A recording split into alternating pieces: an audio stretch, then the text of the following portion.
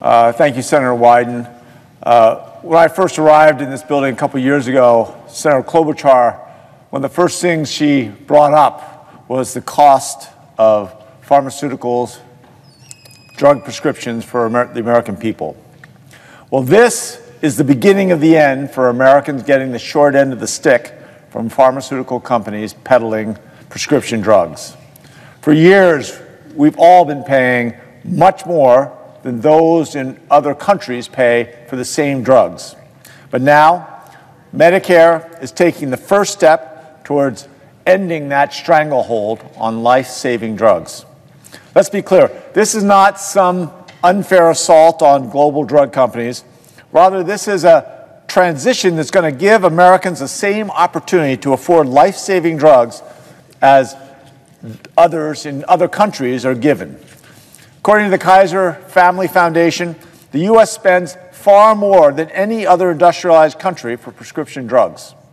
From getting charged $150 more for Xarelto, which reduces the risk of coronary artery disease, to getting ripped off by paying $1,600 for Enbrel, an arthritis drug.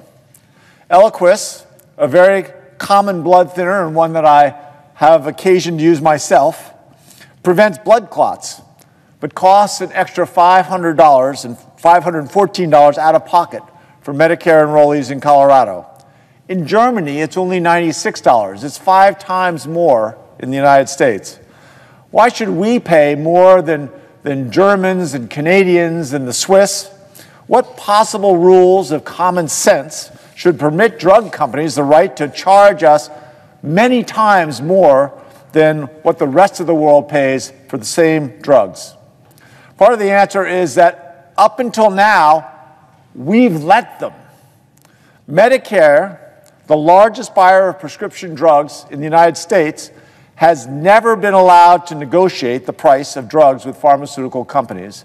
And as Senator Wyden was making painfully clear, the losses to the American people have been substantial. Until now, Medicare has had to accept whatever price Big Pharma dictated, even when Medicare knew we were subsidizing the rest of the world. Well, that changes today. Thanks to the In Inflation Reduction Act we passed last year, Medicare finally has the ability to negotiate with Big Pharma and get us a fair price for these drugs. Medicare will take the 10 most expensive drugs each year and negotiate their prices down. But the impact goes far beyond the impact just on seniors or just for those 10 drugs. Greetings, friends. I have breaking news to share with you this Friday. Congressional lawmakers are pushing to boost Social Security payments, but this would be through a new method, and it would include changing the way the cost of living adjustment is calculated. Analysts say this would benefit millions of seniors and retirees. My dear friends, please make sure that you watch until the end of this video to learn more about this. Also, to say thank you for being part of this community.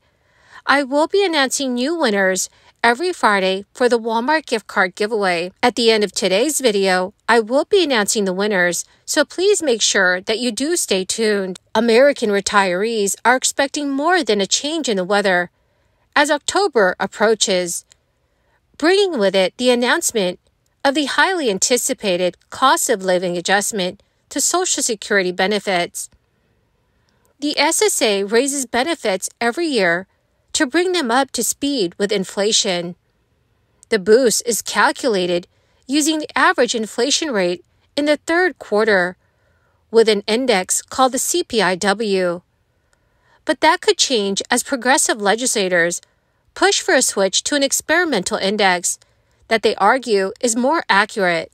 In response to the waning purchasing power of Social Security payments, which average out to $1,800 a month for retired workers.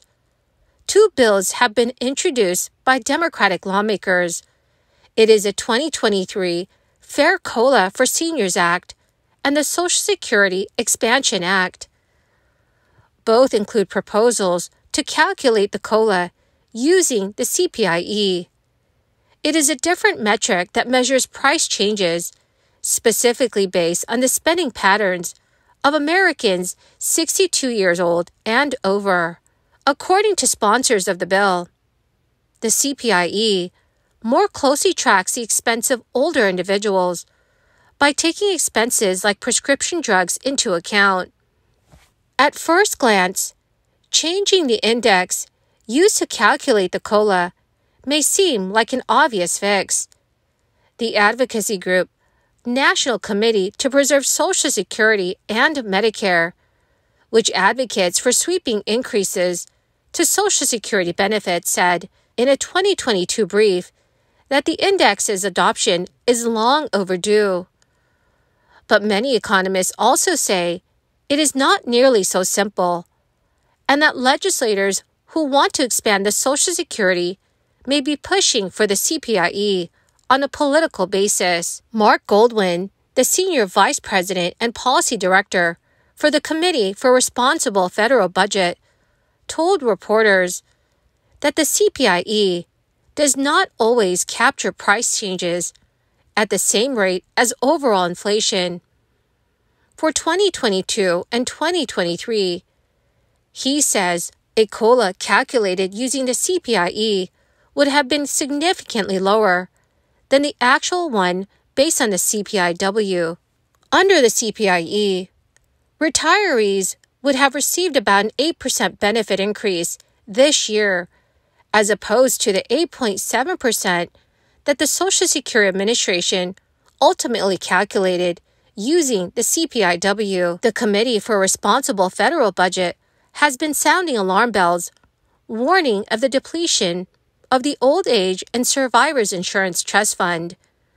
A recent analysis from the nonprofit predicts that without a solution to the pending funding shortfall, the fund's reserves will run out by the year 2033 and result in an immediate benefit reduction of $17,400 for the average newly retired dual income couple. After a stretch of better than expected economic data in August, Federal Chairman Jerome Powell warned that a resilient U.S. consumer could prompt the central bank to raise interest rates once again.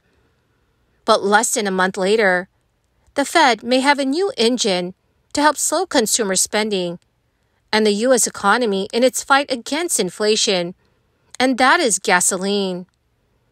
Gasoline prices rose steadily in August, pushing up costs for both consumers and producers of goods. Economists say this could be good for the Fed, even if it means an uptick in headline inflation in the immediate term.